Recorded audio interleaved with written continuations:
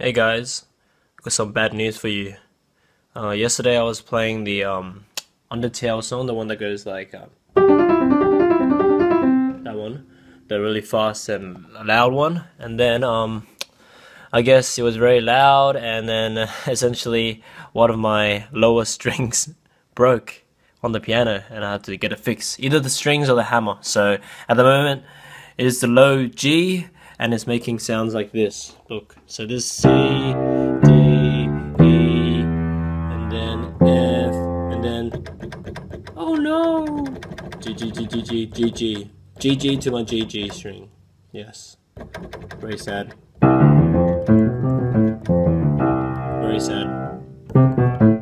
It's pretty important to uh, do a lot of bass like notes and a lot of stuff. But as for now, like one of the songs that I did this morning, it was a Chinese song. A lot of the G keys, I had to like substitute, I had to like jump over it. I'm like, etc. Yeah, so I need to kind of improvise and yeah, I need to wait for how many days? It's next Friday. I need to get it fixed next Friday. I booked in for an appointment for this piano mechanic already, but yeah, that's gonna wait for like six days. Yeah.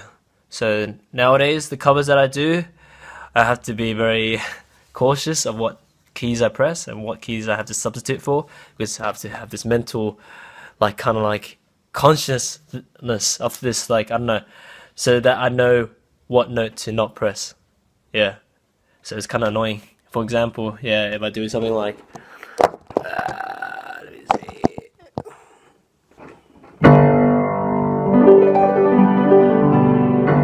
Skip over to the G, so I can't be like, I always make a tingly noise. So annoying.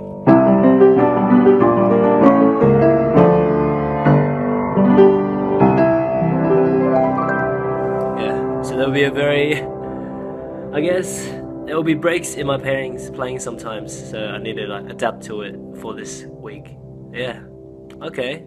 Is the bad news, but I guess it'll be fixed by next week.